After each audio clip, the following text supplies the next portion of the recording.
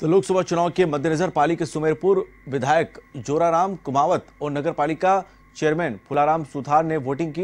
इस दौरान उन्होंने भेरू चौक पर बने पोलिंग बूथ पहुंचकर मतदान किया। साथ ही लोगों से आवश्यक रूप से मतदान की अपील भी की।